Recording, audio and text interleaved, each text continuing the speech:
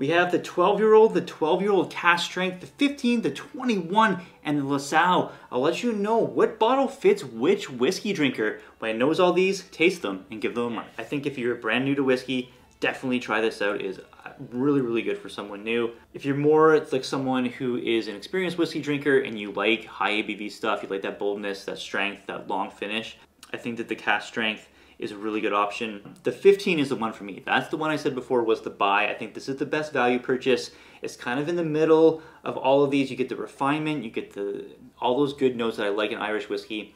Um, I think it's well priced at 100. The 21, if you have the money to step up and you want to have something really, really special, the 21 just blows people away.